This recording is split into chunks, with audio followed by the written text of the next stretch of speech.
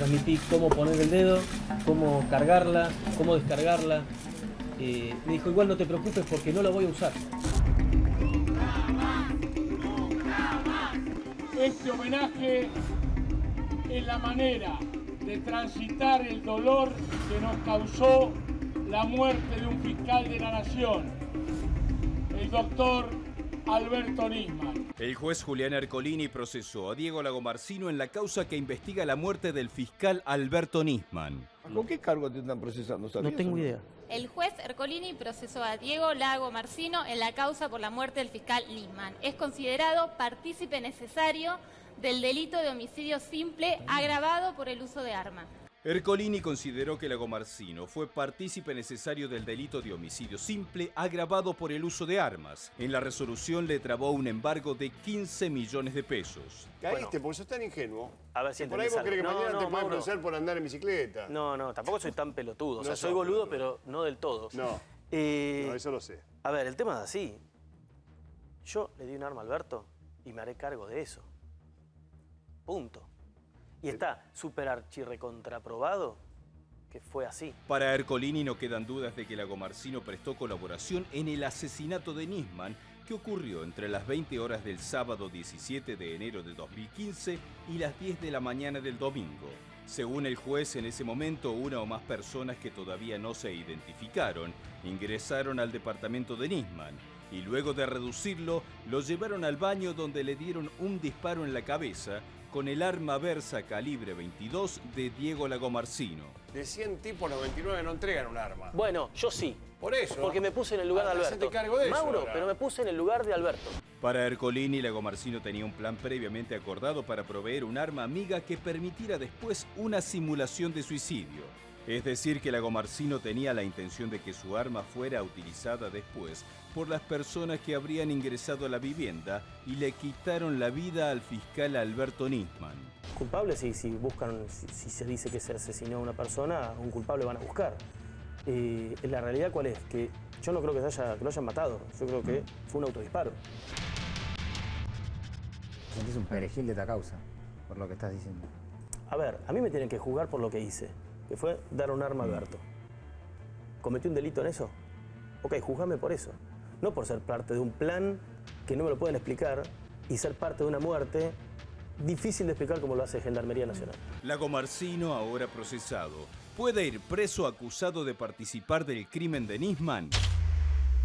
Desde hace una semana les venimos diciendo que en los tribunales de Comodoro Pi, después de la Navidad, se venía una semana, muchachos, a todo ritmo y en el primer día hábil del, o sea, hoy, se empezó a notar esto. Pasaron dos cosas, una más sonora que la otra. La primera, obviamente, la que más ruido hizo es esto el procesamiento de Diego Lagomarcino, que de alguna manera se veía venir. La otra eh, la hizo el juez Claudio Bonadío, que mm, se siente fortalecido por el aval que le dio la Cámara Federal, aunque le quitó la carátula de traición a la patria, al delito por el cual están eh, acusados desde Cristina a todo lo que están presos del ISTH, todo esto, y no quiso directamente, dijo, no, voy a elevar la causa a juicio oral, y si el, nada menos que el titular de Interpol de aquellos años tiene algo para decir, yo no lo quiero escuchar. Que venga y declare en el juicio oral. ¿Por qué? Porque lo que se lleva, acuérdense que les venimos diciendo, en esta temporada en la justicia federal es te meten preso, te procesan y anda a defenderte en el juicio oral y que Dios te ayude. Y esto es lo que se está verificando. Ahora bien, ¿qué es lo interesante para mí del procesamiento de Diego Lagomarcino? Hay que decir que las causas por corrupción o las causas más sonoras heredadas del kirchnerismo eh, tienen como mm, diferentes eh, menúes de opciones en términos de pruebas. ¿Qué les quiero decir con esto? En el caso, por ejemplo, de eh, la causa de lavado de dinero que lo tiene preso a Lázaro Báez, la primera, la famosa de la Rosadita, después de la asunción de Mauricio Macri, vale decir, después de la salida de Cristina, aparecieron las cámaras de la Rosadita donde se lo veía a Lázaro Báez contando plata. Que dicho sea de paso, hoy en una entrevista Lázaro dice que esas cámaras están trucadas. Yo la verdad que desconocía esa idea, insiste en que hay una, una pericia de la Policía Federal. Difícil pensar que esas cámaras hayan sido trucadas, pero bueno, después veremos qué es lo que dice. En el caso, lo que contábamos ayer, en el caso de Otesur, la, em, una de las empresas familiares de la familia Kirchner, aparecieron registros contables, las famosas actas con las firmas adulteradas, con el liquid paper, aparecieron cosas nuevas. En el caso de los sauces, está preso el contador Víctor Manzanares por haber hecho una maniobra de desvío de los alquileres que tenían que pagar. En el caso de la obra pública, de la mega causa de obra pública que también tiene el juez Ercolini, apareció un informe del gobierno que dice que las obras de Santa Cruz, de la provincia de Santa Cruz, muchas de ellas estaban a medio terminar. En el caso, por ejemplo, de las causas que tienen preso a Julio Devido, la de Río Turbio, había un informe oficial del gobierno con las irregularidades y los desvíos de dinero. Los barcos de gas natural licuado, que también lo tienen preso a Devido, había documentos, aparecieron documentos provistos por el propio gobierno y provistos a partir de los registros de NARSA. En el caso del eh, general Milani apareció la pericia de la Corte Suprema que demostraba que había evidencia de enriquecimiento ilícito. En el caso de José López, por supuesto, aparecieron los bolsos. En el caso de Nisman, lo único que apareció fue la pericia de gendarmería. Y dentro de esa pericia de gendarmería, nosotros lo analizamos aquí hasta el cansancio, lo único de nuevo que aparece es esta bifurcación que nosotros le decimos sobre si tenía o no tenía el tabique fracturado. Porque todo lo otro, recuerden que lo, fuimos desmenuzando, todo otro eh, mm, podía ser refutado o discutido al menos por los peritos de la Corte Suprema que habían hecho la investigación previa. ¿Qué quiero decirles? Que en el caso de la muerte del fiscal Alberto Nisman, lo que hay de nuevo es una mirada, con los mismos elementos, ahí donde eh, la fiscal Fein decía, bueno, no hay evidencia de que esto pueda ser un homicidio para eh, el, el, juez Ercolini, hay evidencia de que fue un homicidio. Esto es lo que dice el procesamiento de la Gomarcino. Dice, A, fue un homicidio. B, la Gomarcino es un partícipe necesario porque le entregó el arma, pero tampoco logra reconstruir algo diferente. No aparece un ancho de espada que diga, bueno, ah, ¿sabe qué? Después del, del traspaso de la causa Nisman a la justicia federal, apareció el ancho de espada o apareció por lo menos un 7 de espada que cambie el partido de truco y entonces haya alguna prueba nueva. A diferencia de otras causas donde sí aparecen elementos nuevos contundentes, acá no aparece un elemento nuevo contundente, salvo la pericia de gendarmería, que está muy discutida. Pero repasemos un poco cómo se defendía desde siempre Diego Lagomarcino. ¿Pensás que puede ser preso? A ver, hay muchas cosas que que no son como deberían ser. Escuchar que en un... Bueno, yo lo vi en una nota periodística, vos me decís que está en una... está en la causa. Eh, que en mi casa había cientos de CDs con escuchas, eso es falso. A partir de ahí yo puedo pensar cualquier cosa. También Es gravísimo eso, ¿eh? Es gravísimo porque cambia la posición de una persona que no tiene nada que ver pues se supone que un expediente judicial no se hace en base a versiones, se hace en base a elementos concretos. Bueno, pero eso debería haber aparecido hace un año y medio cuando se hizo la pericia informática.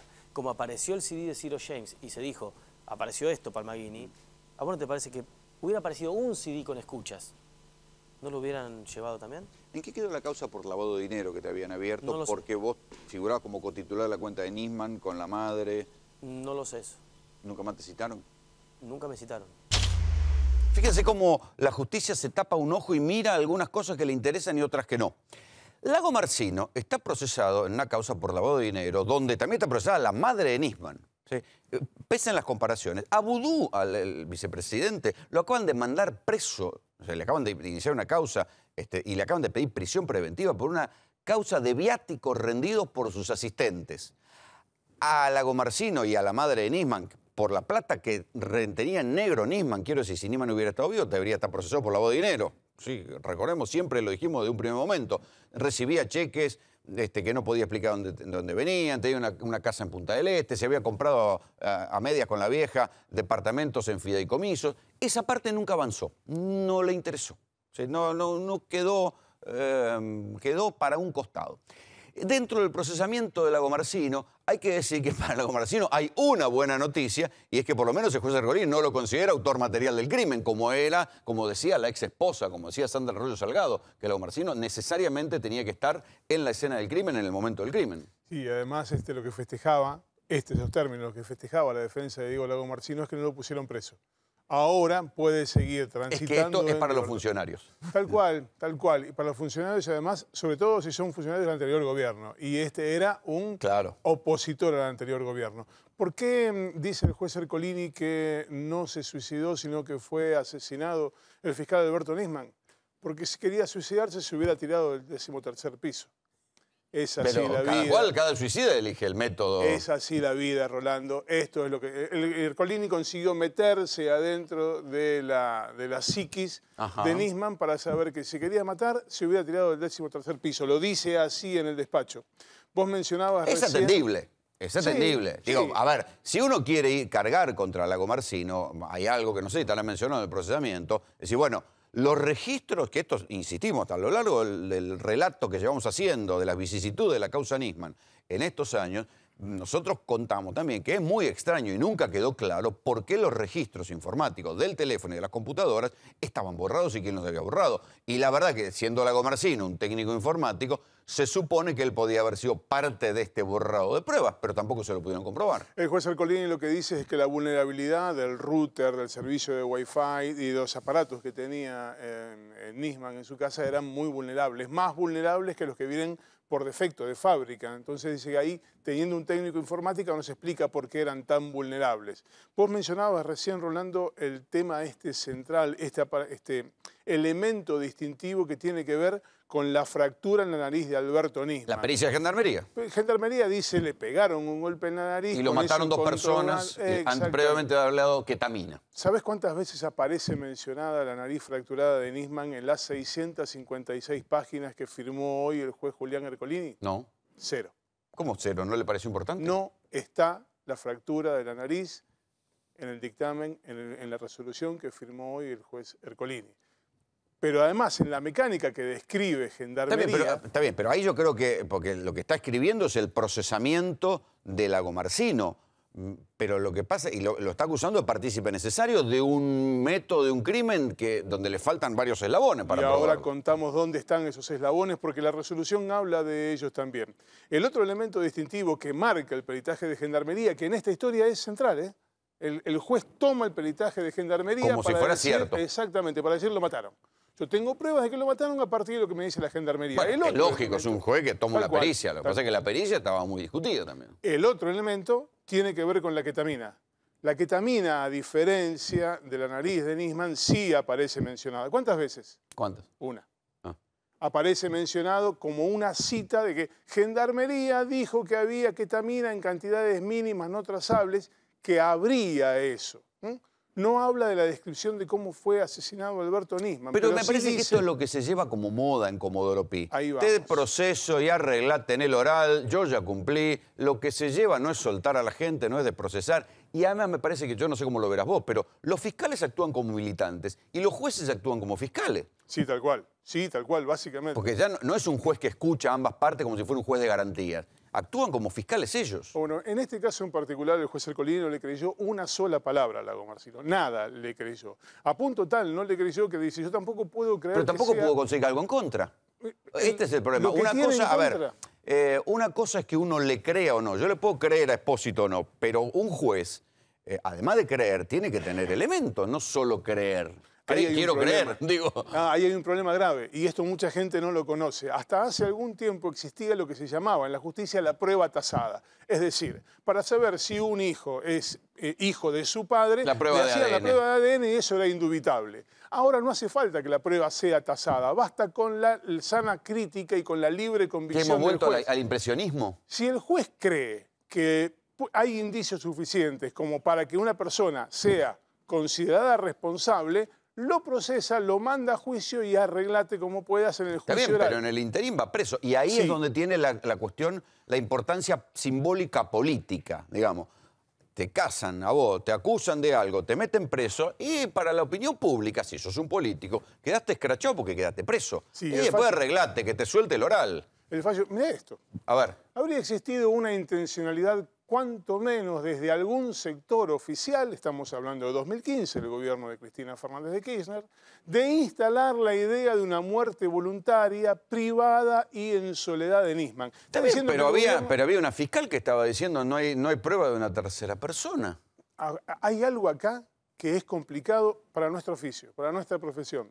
Porque el juez Ercolini lo ¿Qué, que digo, está a ver, ¿qué diciendo- tiene que hablar un juez federal sobre lo que hace la prensa? Bueno, Ah, ha o hablado, estamos nosotros, vamos a ser procesados ha también. hablado y ha hablado mucho. Mira, si vos lees con letra fina las 600 y pico de páginas, hasta podemos ser encubridores, porque dice que había un sector de la prensa que él identifica como medios afines al anterior gobierno, lo cual es una valoración política que hace un juez en el marco de una resolución, que intentaron también instalar esa idea de que se había suicidado. Sí, pero eso, eso yo te, suponete que te lo pueda suscribir eso, era un aparato de propaganda oficial que instaló, pero fracasó. Porque el- en verdad los medios opositores, para el común de la opinión pública, vos lo veías en las encuestas, Nisman, a Nisman lo habían asesinado. Desde incluso, incluso cuando algunos de nosotros decíamos, muchachos, esperen que todavía no aparecen pruebas. Bueno, eh, em, para el fiscal... Y lo discutía con Rubén Martín yo. Llevamos años discutiendo esto como dos viejos igualmente, borrachos. Rolo, quiero aclararles algo. La razón... Espera, espera que no estás abierto. Pero enseguida vamos a hablar con Rubén Martín sobre nuestras viejas polémicas al respecto. Bueno, la, la última cuestión que parece irrelevante en todo esto. Tampoco le cree el, el juez Ercolini al Lago Marcino cuando él da la explicación de por qué compartía una cuenta con el fiscal Nisman en el Merrill Lynch de Nueva York que tenía depositado 600 mil Está dólares. bien, pero no, no, no le interesa averiguar por qué Nisman tenía esa cuenta. ¿Quién No. le pagaba? No, porque La ya- guita se la daba Mira, a es Estados buenísimo. Unidos, se la daba un servicio de inteligencia, se la daba Stefanini, que es un, un financista prófugo. ¿Cómo tenía esa guita? Es buenísimo el interrogante porque ah, hay una causa por eso. Porque Esa digo, causa está una cosa es investigar a la víctima y otra cosa es investigar los manejos alrededor de la víctima. Tal cual, tal cual. ¿Y? Está paralizada esa causa que la tiene otro juez, no Ercolini, pero la tiene otro juez de Comodoro Pi, está paralizada desde hace dos años. Pero esto es lo que te digo lo de Bonadío. Bonadío se tapa un ojo dice, no, no me interesa lo que diga Noble, van a juicio oral. Este, Ercolini lo mismo, dice, no, no me interesa lo que pasó con la guita al lado de Nisman, no me interesa. Marchen a juicio oral. Si el sistema fuera normal, si fuera un sistema acusatorio, el fiscal reúne las pruebas y lo manda a juicio rápidamente y nos ahorramos un montón de tiempo y nos ahorramos un montón de gente presa. En los Estados Unidos, donde hay un sistema acusatorio, una persona que está procesada y que va a juicio probablemente transite en libertad bajo el pago de una fianza, suculenta, es cierto, pero bajo el pago de una fianza. Aquí el juez identifica a autores inmediatos, a autores mediatos, dice que Lago Marcino no solo contribuyó proveyendo el arma, sino dice que aportó información valiosa respecto de cómo estaba el fiscal Alberto Nisman el día en que supuestamente lo mataron. Con lo cual da a entender que el plan para asesinar a Nisman se resolvió en poco más de dos horas, que fueron las que demoró Lago Marcino en hacer las dos visitas al fiscal Alberto Nisman. Fue, vio cómo estaba. Pero vio si Nisman lo llamó. Bueno, pero el, el juez no cree que lo haya llamado para eso. No, no, hay, no, hay- no están los cruces llamados. Sí, los cruces llamados están, ¿Y, pero no está Y no se sabe quién es la llamada entrante y cuál no. Pero no está el contenido. Entonces, Bueno, como, obviamente. Como no están escuchando, dice, bueno, acá es la palabra de Nisman que no puede defenderse contra la palabra de Lago Marcino. Lago Marcino dice que lo llamó para pedirle un arma. ¿Para qué le va a pedir un arma si él no quería, no tenía intención de un arma y además le dijo que era para sus hijas y sus hijas estaban en, Estados Unidos, en, en Europa con la madre? Detalle importante. ¿Sabes quién certifica que efectivamente Nisman estaba preocupado por la seguridad de sus hijas? No. Laura Alonso. Cuando Laura Alonso declara en la causa, dice, yo le dije a No, Nisman... titular de la Oficina Anticorrupción de este gobierno. Tal ¿no? cual. Y en aquel momento, una de las principales este, sosten- sostenedoras, digamos, de la hipótesis que a Nisman lo había matado. Laura Alonso declaró en la causa que ella fue invitada por el fiscal Nisman el 14 de enero de 2015, cuando presentó la denuncia contra el anterior gobierno por encubrimiento, que fue invitada a la fiscalía, fue con Patricia Bullrich. En un momento determinado, lo cuenta ella en la declaración, le dice, yo le pregunté al fiscal Nisman si tenía miedo, y Nisman me dijo, le dijo a Laura Alonso, el día que presentó la denuncia, yo no tengo miedo por mí, tengo miedo por mis hijas. Lo mismo que dijo Diego Lago Marcino. Hay que decir que mm, eh, Lago Marcino queda despegado de la materialidad del, del crimen de Sí. Nisman según el juez. ¿Por qué? Porque recordemos, nosotros lo contamos aquí, que Lago Marcino se va, nada, nadie registra que haya vuelto al EPARC y Nisman tiene por lo menos un mensaje de WhatsApp con una periodista posteriormente y le entrega a un policía un sobre para que se lo lleve a otro periodista de Infobae. Pero ese hecho en particular de no haber participado del momento de la muerte, del disparo de la muerte, no lo eximen de la pena porque lo pusieron como partícipe necesario y la pena es la misma. Bien, La pero tienen es- que encontrar una hipótesis por ahora. No hay hipótesis. eh, Él participó de una secuencia que llevó a matarlo a Nisman. ¿Por qué lo mataron? A la justicia penal no le interesa por qué lo mataron. Mm. Esto, Le- hab- hablemos un poco de los periodistas, que ahora estamos en los dictámenes de la justicia federal. Algunos comunicadores afines, afines al anterior gobierno, ¿se entiende? Se permitían discrepar con las afirmaciones de la presidenta. Sí, ojo. ¿Recordás? ¿Qué afirmaciones? Porque Cristina, hubo dos versiones de Cristina. Bueno. En un primer momento Cristina dijo, dio a entender en esa conferencia, en una cadena nacional que estaba Está. con la silla de ruedas, que este, Nisman se había suicidado. Y después dijo, acá detrás de esto hay un complot internacional, ¿no? ¿no? ¿y a quién le servía Nisman muerto? Y dice, a este, enemigos que no de- identificó. Es pocos días después. ¿Qué Cristina? ¿La del suicidio o la del crimen? La primera del suicidio y luego la que cambia la versión, el juez dice, bueno, cambió la versión, pero en realidad no fue muy clara, fue en términos confusos. Entonces, nos quedamos con la primera, porque es la que más cierra con esta historia. Es la que más cierra con esta historia del homicidio. No hay... bien, pero por eso te digo, quiero decir que el- el- se supone que un dictamen judicial debería reconstruir con un poco más de matices la cuestión, ¿no? Enganchan para un lado, encadenan las cosas y lo que queda al costado, aunque sea relevante, no les importa. El, el fallo tiene una, una sumatoria de indicios que si vos lo pones en una línea de tiempo y le pones como si fuera un guion de película, te da Claro, a pensar que... Lo que Ahora, pasa si es que hoy por mismos- esto es un fallo de un oficialismo, de, una, de una escritura tan oficialista, tan afín a la teoría de los mm, de- que defendieron los propios, los que ahora son funcionarios del gobierno, Patricia Bullrich, Waldo Wolf, este, Laura Alonso, que esto es, es como un, un- un fallo oficialista directamente, porque toma lo que Tal cual. decían los diputados del PRO. Tal cual. Dos datos importantes, Rolo, respecto de esto. Diego Lago Marcino, con un altísimo grado de probabilidad, no va a apelar este fallo. Quiere ir rápidamente a juicio oral público. Pero lo- va a ir a juicio oral solo.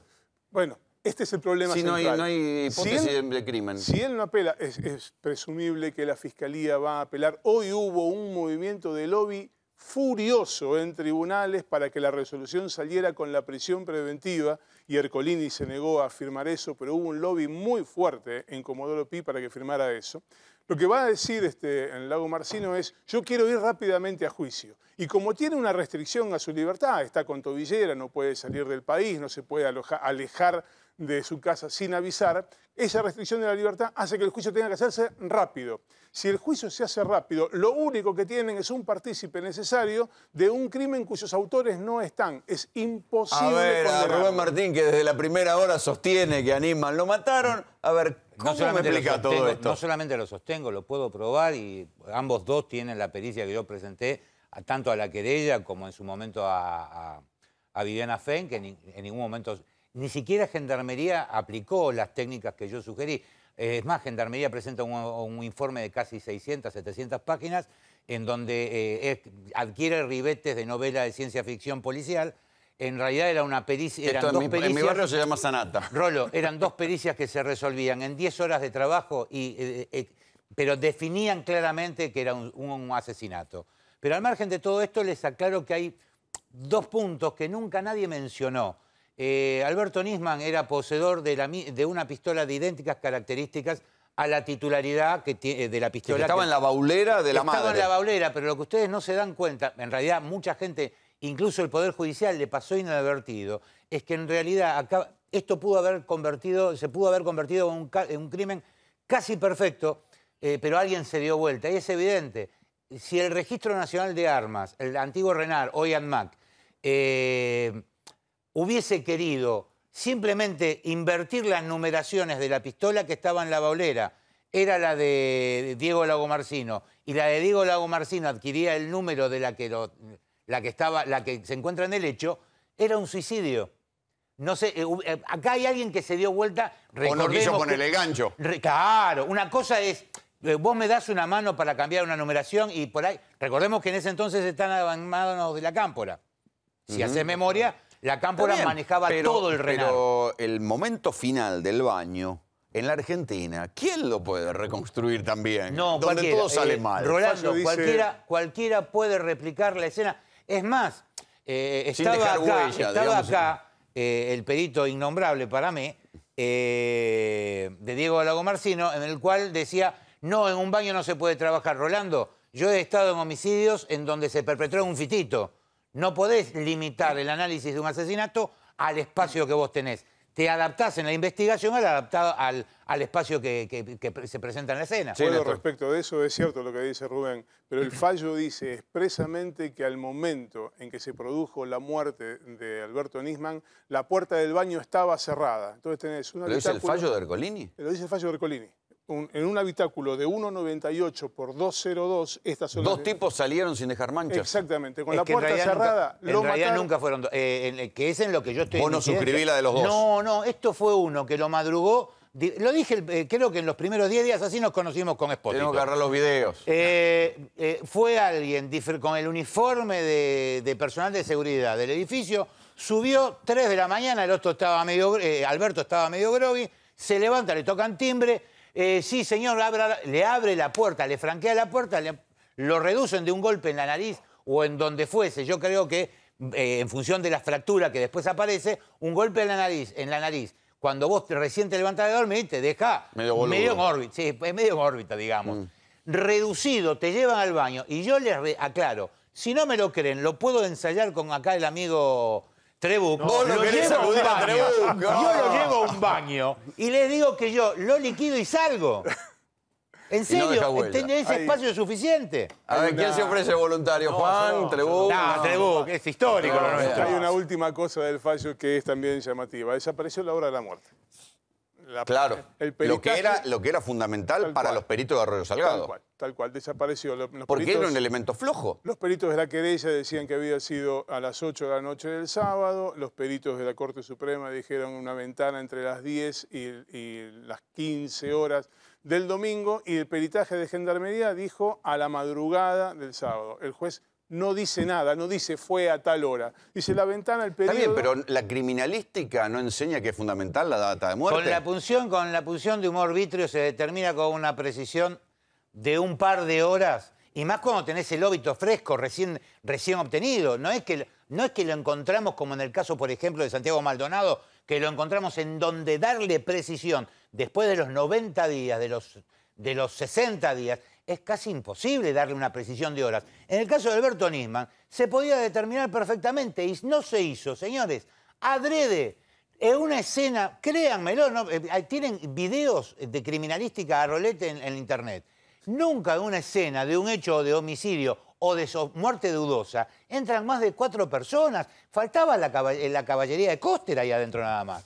Simplemente a los fines de ensuciar la causa. Y quiero decirte algo más. El- eh, la prisión preventiva es a un solo fin. Y hay que decirlo. Es A para ver si se quebrar- quiebra. Es para quebrarlo. Yo también lo pensé. Es para quebrarlo. ¿Qué quiero decir? A ver, eh, el, el procesamiento del lago Marcino no aparece, insistimos en esto, no aparece ningún elemento nuevo fuerte. A todo lo que había, salvo la pericia de gendarmería, que nosotros la venimos discutiendo, no aparece un elemento fuerte como para decir, ¿sabe qué? Solamente esto, que, el juez no le creyó, que es otra mirada. Hay como una interpretación de lo mismo, más o menos, de lo que había pero con estos detalles. Esto no excluye los puntos oscuros. Por ejemplo, lo que yo les venía diciendo antes, el borrado de las computadoras. O por ejemplo esto, el kiosquito de diario fantasma.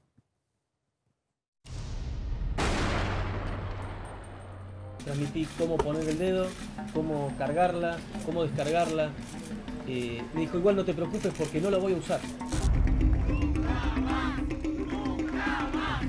el famoso 18F, 18 de febrero. Y yo fui a ver un cura. Hacía mucho que no, que no me acercaba a, a un cura. Sí a Dios a mi forma, pero no, no a través de una iglesia. Y le pedí por el alma de Alberto, haya sido lo que haya pasado. Y el padre me,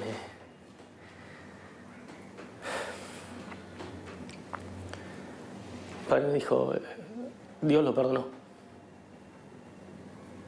Aunque el secreto se apoderó del expediente, la palabra homicidio ya se instaló en la causa por la muerte de Alberto Nisman. Diego Lagomarcino, custodiado, acusado de partícipe necesario del crimen y con una tobillera electrónica, va a defenderse de las acusaciones. Lo único que te puedo decir que yo, el domingo, que fue el- la fecha de muerte de él, no estuve y yo no fui. Es muy difícil tener que andar diciendo yo no maté a alguien. ¿eh? El fiscal Eduardo Tayano presentó un dictamen de más de mil páginas ante el juez federal Julián Ercolini, en donde repasa el devenir de la investigación y plantea una nueva serie de interrogantes. Para Tayano, en base a la pericia de gendarmería, está claro que a Nisman lo asesinaron. También que Lagomarcino fue, dada su confianza con la víctima, el encargado de introducir el arma en la escena del homicidio. Con una mano sobre la suya, con un dedo sobre su índice flácido, casi inerte. Aprietan del gatillo de la pistola calibre 22, oportunamente ingresada al departamento por su asesor Diego Lagomarcino. Luego armaron la escena de un suicidio que no fue. Así, habrían asesinado al fiscal Alberto Nisman, según el peritaje realizado por la Gendarmería. Uno de los nuevos interrogantes de Tayano es el misterioso puesto de diario fantasma que estaba frente a las Torres Le Parc. Se trata de un kiosco sencillo que cerró al día siguiente de la muerte de Nisman. Los vecinos dijeron que les llamaba la atención que siempre tenía muy poco material para vender y que el diariero era un hombre muy formado. Según los vecinos era una persona muy por encima de la media de lo que puede ser un vendedor de diarios, muy formado incluso en política o economía. El kiosquero volvió a los seis meses y volvió a desaparecer, pero las sospechas se acrecentaron cuando el gobierno porteño informó que el puesto no tenía ningún permiso.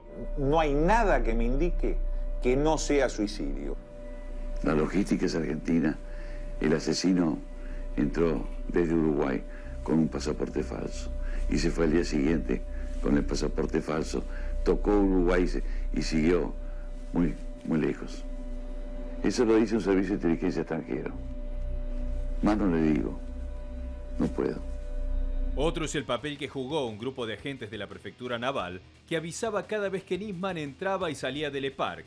Curiosamente, nadie sabe a quién le reportaban esos movimientos.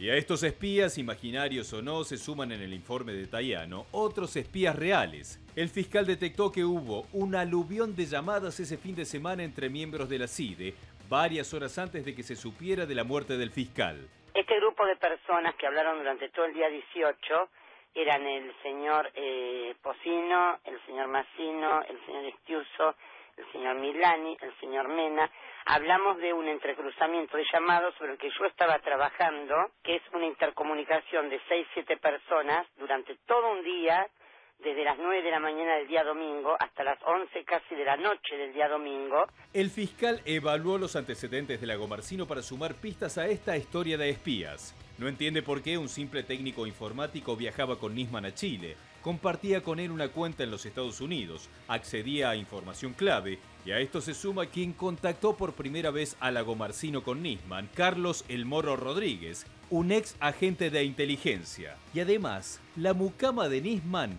lo conocía a Lagomarcino con el nombre de Julio. ¿Quién es realmente Diego Lagomarcino? A ver, todos estos puntos oscuros, eh, nosotros los hemos ido contando, porque hasta incluso en un primer momento yo era de lo que pensaba que Lago Marcino estaba en problemas. Era un hombre que había eh, conocido a Nisman en los tribunales de San Martín, eh, o sea, un hombre vinculado, eh, había hecho, mm, digamos, trabajos informáticos para la justicia, daba para pensar que era un topo de algún servicio de inteligencia, daba para pensar una cantidad de cosas, pero a lo largo de estos tres años no pudieron ser probar, no le encontraron nada. No, si se, se trataba de... Pues digo, estaría, si no estaría acusado del crimen directamente. Sí, claro, pero si tratándose de un potencial agente inorgánico que él niega haber sido de los servicios, pues claramente entonces no lo van a encontrar. Hablaban recién Está bien, del- pero algo más no Sí, podían haber sí, encontrado. no, no encontraron nada más y mirá que lo caminaron.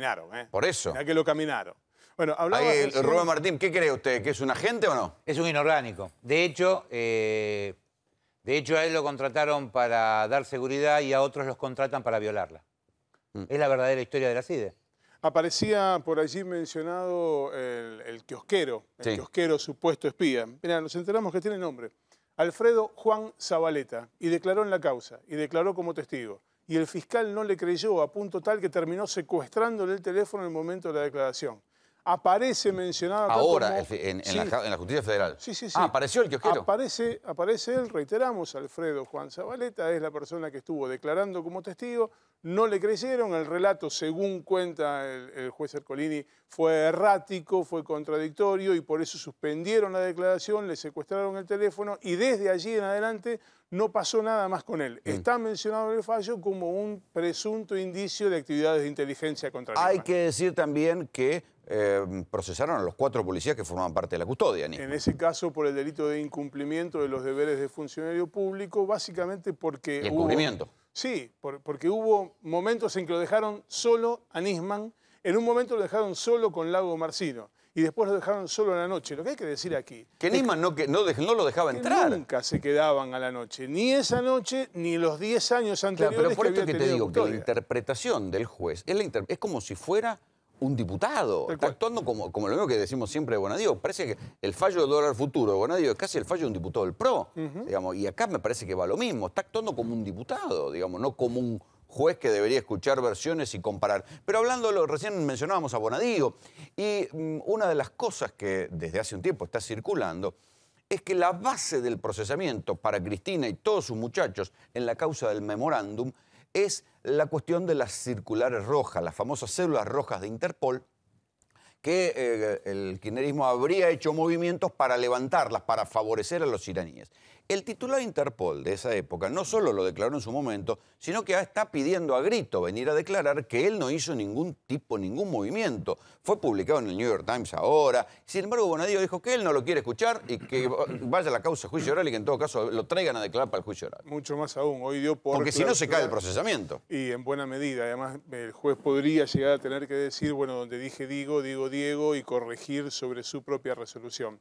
Hoy el juez Claudio Bonadío dio por clausurada la instrucción. ¿Qué significa esto? Digo, hasta acá investigué yo, de ahora en más esto pasa a juicio oral y en el juicio oral vayan y digan todo lo que tengan que decir. Incluso cítenlo en el juicio oral a Ronald Noble para que él venga y diga allí que nunca quiso, que nunca hubo un pedido formal de levantar las alertas rojas contra los iraníes. Esto significa que eh, no hubo intención. No, no importa si hubo o no hubo intención. Se pueden poner de acuerdo para matarlo, pero si no lo matan no hay delito. Y esto es lo que dice Ronald Noble, que nunca se concretó el levantamiento de las alertas rojas. En consecuencia, no se puede haber encubierto un delito que nunca se cometió. Igual habilitó la feria. La feria está habilitada, de hecho, porque hay detenidos. Siempre que hay un detenido, la feria queda habilitada. Esta es la causa por la cual Cristina Fernández de Kirchner en algún momento tendrá que enfrentar en el Senado un pedido de levantamiento de sus fueros. Ahora, ¿se acuerdan la campaña de Cristina? Cuando Cristina arma Unidad Ciudadana, dice, tenemos que defender en el Congreso, defendernos del ajuste que se viene. El ajuste ya llegó. Ya sabemos, la reforma previsional, se viene el aumento en el boleto de colectivo, pero hay un detalle. Cristina, la que iba a defendernos del ajuste, no aparece. No apareció por el Congreso. No fue ni a la reunión de comisión ni a la reunión de donde había que votar. Cristina no aparece. ¿Dónde estará Cristina? Cuando uno lee en las portadas de algunos diarios que la pobreza está disminuyendo,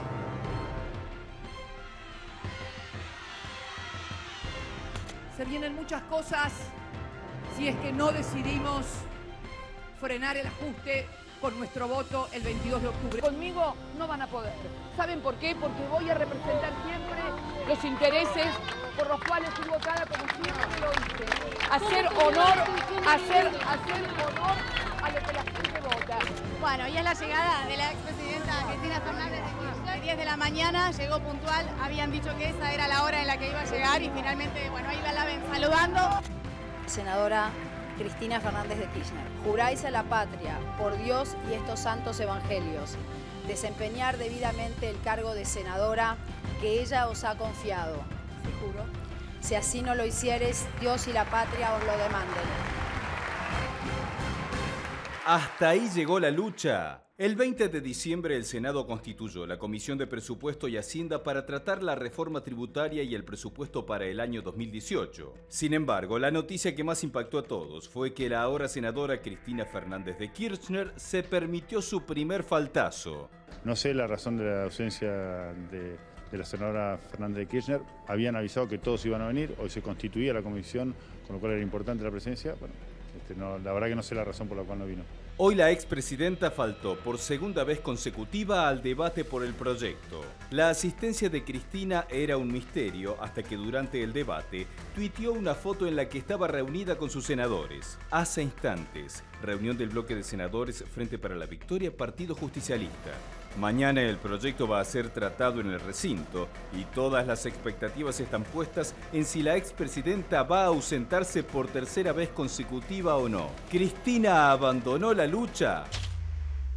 ¿Dónde está Cristina, Esteban? Bueno, ahí apareció en la foto, una foto que refleja lo que es hoy el kirchnerismo en el Senado, una fuerza absolutamente minoritaria, se mostró en el Instituto Patria, que queda a tres cuadras del Congreso de la Nación. Hoy pegó el faltazo en la Comisión de Presupuesto, que finalmente dio dictamen favorable y mañana va a sesionar, seguramente se va a aprobar todo un paquete impositivo muy grande, seguramente Juan te lo Es el que viene de diputados. Exactamente, exactamente. A la sesión va a ir, Cristina, aparentemente. Te digo la verdad, el gobierno no le cambia mucho esto. Hoy Cristina es menos que Pichetto en el Senado. Claro. De hecho, hoy los senadores de Pichetto le dieron el ok al gobierno y le dieron el dictamen favorable. Es decir, con Pichetto tiene todo a- a- a cerrado el gobierno, los votos de Cristina, la verdad, Bueno, de ni hecho, fu ni fa. acordate ocho que el, conflicto por la reforma previsional no lo tuvieron en el Senado. Nosotros estamos transmitiendo acá en tercera posición cuando se aprobó en el Senado, sin pena y sin gloria, la reforma previsional. En cambio, el debate y el quilombo vino cuando llegó diputado. Pero por esto de que nosotros le venimos diciendo que el ajuste ya llegó, si no nos creen, la reforma previsional primero, la, mm, la manera en que está buscando el gobierno levantar algunos impuestos y manotear algo de guita para tapar el déficit fiscal. Pero ahora llegó algo que venían pisando durante la campaña electoral, que es el aumento del boleto de colectivos y de trenes. En su momento, el ministro de Transporte, Guillermo Dietrich, había anunciado que el boleto iba a pasar de 6 a 11 pesos. Lo mandaron callar, le pegaron un sosegate que le hicieron callar la boca. Este, y durante la campaña electoral no se habló del aumento del boleto de Bondi. Aranguren sí siguió aumentando las tarifas a ritmo sin importarle demasiado, solamente pisó el último aumento para después de las elecciones. En el cambio, en el caso de los bondis, eh, ah, hicieron un acuerdo con la dirección de la Unión Tranvías Automotores, del sindicato, todos calladitos, y el aumento de Bondi se pasó para más adelante, pero el futuro ya llegó y Juan Enrique tiene los números porque se viene el aumento del Bondi. Claro, Rolo, vamos a ir a Gamba ahora, me parece. Y vos hablás del ajuste y tiene que ver con que cuando el transporte es barato o está subsidiado, quiere decir que estás dando un salario indirecto. Si vos sacás Pero el acá está subsidio... muy barato, ¿eh? Bueno, Comparado con, no sé, Brasil. Sí, es muy barato. pero. Eso quiere con decir, el interior. Rolo, quiere decir que vos le estás dando un salario indirectamente a la gente. Cuando vos le sacás subsidios y aumentás el transporte y le estás le estás sacando salario, prácticamente le estás sacando salario, la gente puede comprar menos transporte. Porque, en definitiva, ¿quiénes son los que toman el bondi? Los que toman el bondi son los trabajadores, Rolando. El trabajador es el que pierde directamente. Y mirá los aumentos. En el año 2000 estaba 75 centavos el mínimo. Y si nos remitimos al año 2013, el aumento fue de 75 centavos a 2 pesos con 50. Un 350% comparado con la inflación del 900, claramente no acompañó la inflación. El salario era más fuerte comparado con el transporte. Después vino el 2016. Sí, pero ¿qué agujero le, le provoca ahora en subsidios al presupuesto? Claro. Los subsidios al transporte. El golpe más fuerte fue acá, ¿no? Sí. 2016. Ahora, si hablamos de números, recordad que en esta semana, la semana pasada, le sacamos a los jubilados 100 mil millones de pesos que también toman transporte. Bueno, el número clarísimo, Rolo, acá viene, mirá. El número, estamos hablando de 66 mil 351 millones de pesos. Esos pesos que salen de ahí tiene que ver con lo que vos decís todas las semanas, todos los días, el déficit fiscal. Pero ¿quién los paga? Que algunos, y hay que decir que el déficit fiscal se ha convertido, agregado a los servicios de la deuda, en una bomba de tiempo tanto para economistas mm, ortodoxos como para economistas heterodoxos.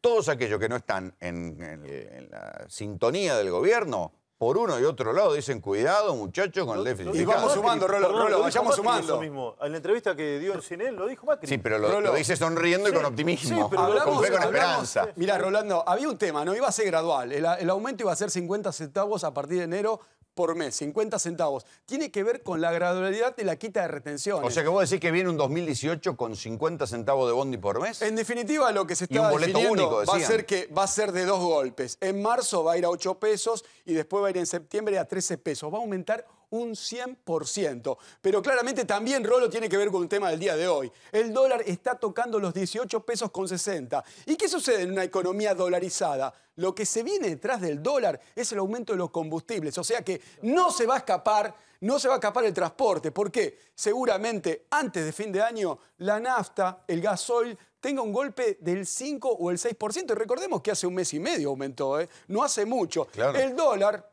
va a golpear sobre todos los precios de la economía, Rolo.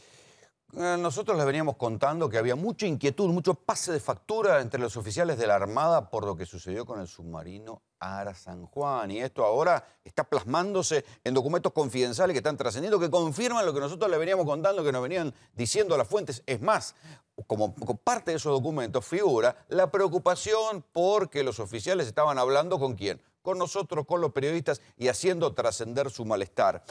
Pero antes, si estás buscando una puerta de calidad, diseño y seguridad, nosotros te recomendamos Artestam, líderes en el mercado con más de 50 años de trayectoria. Artestamp, más de 60 años haciendo puertas para cada estilo y necesidad. Diseño, mayor calidad, mayor durabilidad, mayor resistencia. Conozca nuestros productos en las principales casas de aberturas de todo el país. Artestamp.com.ar Estuve en el juzgado de Caleta Olivia y, y la verdad que me hice documentos eh, estremecedores, te diría yo. ¿En qué sentido? Respecto, y respecto a, a la condición de, de, para usar la misma palabra del auditor general de la Armada, innavegabilidad del submarino. ¿Vos te estás refiriendo puntualmente al, al Ara San Juan? Sí, sí. ¿Innavegabilidad para el último viaje? Sí, se- en septiembre de este año, el último informe de la Auditoría General de la Armada da cuenta de ello y estaba en prioridad 1 el ingreso a dique seco para reparar desde escotilla hasta, hasta batería, etc. O sea, concretamente un- una embarcación que no estaba en condiciones de salir. Sí, lamentablemente. Y los Esto, mandaron esto es, igual. esto es muy fuerte, es develador. Y los mandaron igual. Eh, ¿Desde qué eso es muy duro. O sea, que se está- septiembre este septiembre, está hablando un mes antes de la, de la salida. Un mes y medio, sí. Sí, de la salida del, del submarino. Digo, ¿y esto cómo cae? Esto cae como una bomba. Y yo eh, lo vi, vi esos documentos el lunes al mediodía ya en Caleta y te puedo asegurar que, que no solamente eh, me la pasé vomitando, sino que no pude ni dormir. Porque te, te lo cuento así porque son muchos documentos acerca de, por ejemplo, chalecos salvavidas vencidos, los, unos trajes MK3 de, de- rescate de vencidos. eh, bueno, un montón de cuestiones. O sea, que- una- una que- serie de irregularidades Una serie de irregularidades que, que- dan cuenta, aparte de, eh, mal estado, de, por ejemplo, de los sensores de, oxígeno y de hidrógeno.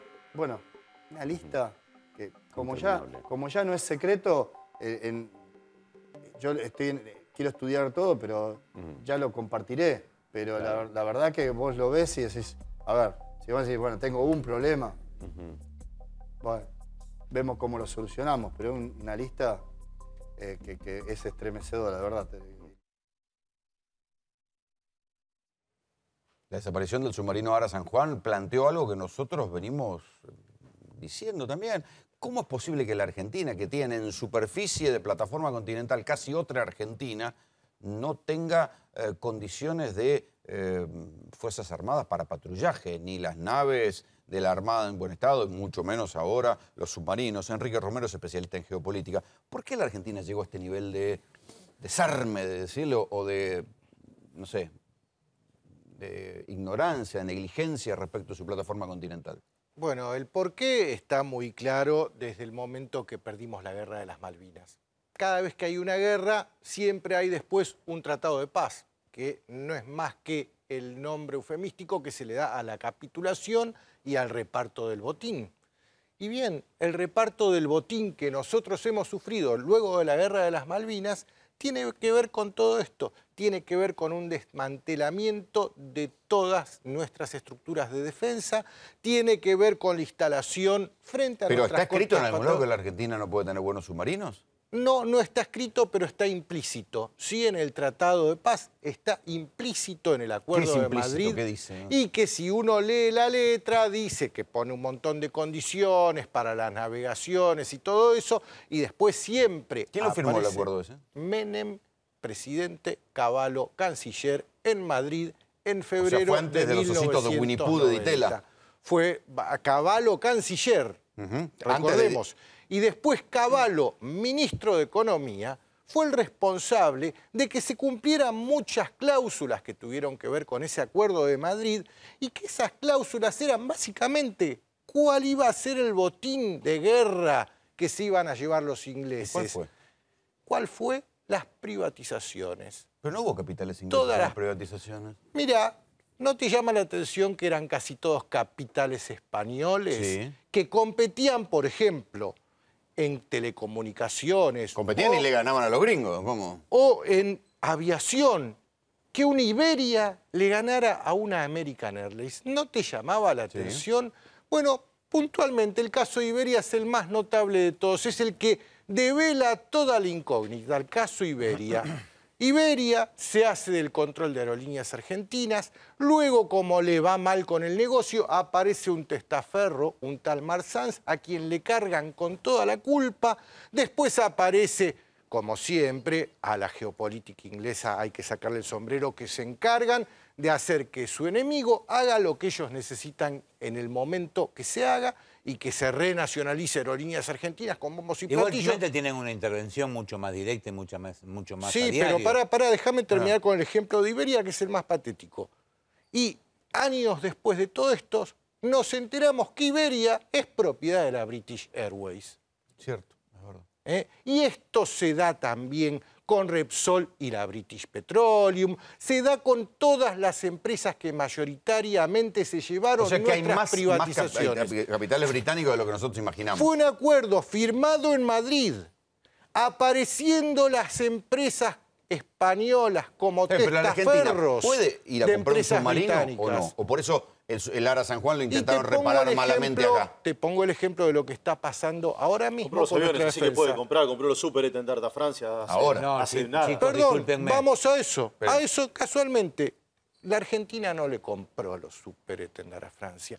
Francia gentilmente y a precio simbólico le entregó a la Argentina los superetendar, viejos, vetustos aviones que ya no los necesitaba. Porque si la Argentina salía a comprar aviones en el mercado de la aviación, Los nunca ingleses iba iban a decir, poder "Epa, comprar". amigo. Siempre lo dijeron. Se negoció primero el Eurofighter. El Eurofighter se iban a decir los ingleses, no muchachos, ese avión lo hacemos nosotros. No. Después eh, se evaluó el avión surcoreano. No, de ninguna manera.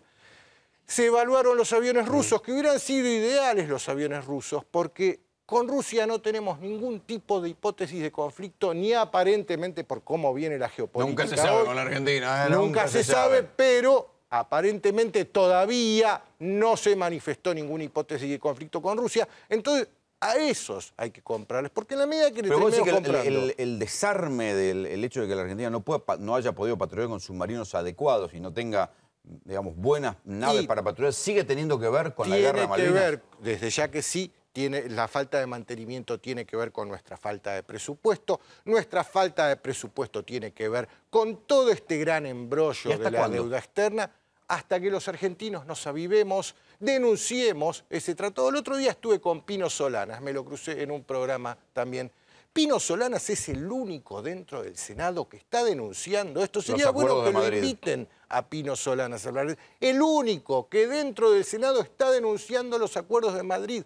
No Pero hay otra voz. Esperen, esperen, porque nos tenemos que ir, pero le agradezco, les agradezco. Y yo- puedo volver con la cuestión de los acuerdos de Madrid, porque yo pensé que era más un mito urbano que otra cosa. No es un mito urbano para nada. Hay un libro que lo explica muy bien, el libro de don Julio González, Los acuerdos de paz por la guerra de Malvinas. En ese libro está todo explicado el detalle de cómo fue la guerra, cómo fueron los tratados, cuáles fueron las implicancias militares, políticas, geopolíticas y económicas y el tema de las privatizaciones. Muchísimas gracias por venir. Nosotros nos vamos. Esto fue tercera posición. Hasta mañana. Chao. Este verano, vení a Mar del Plata a disfrutar de un montón de propuestas gratuitas. Playas llenas de comodidades, entretenimiento, espectáculos y beneficios para toda la familia. Vení a Mar del Plata, que te hace feliz. Buenos Aires provincia, entre todos podemos más. Accede al auto que siempre soñaste. Conoce Auto Advance. Todos los modelos, amplios planes de financiación y un equipo de ventas listo para asesorarte. www.autoadvance.com.ar Auto Advance lo hace posible.